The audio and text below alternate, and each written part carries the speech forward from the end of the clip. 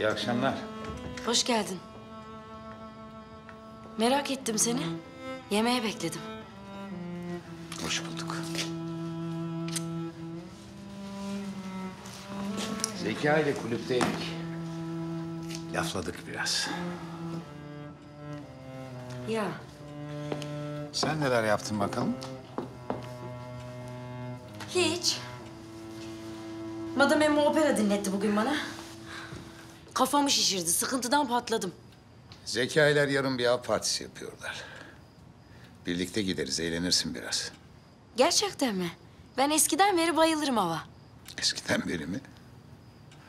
Fabrikadan arkadaşlarımla hafta sonu kuş vurmaya falan mı gidiyordunuz ki?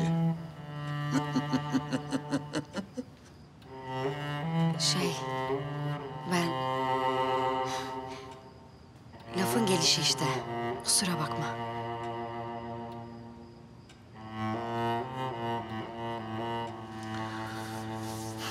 Boş boğazlık ettim. Ben özür dilerim.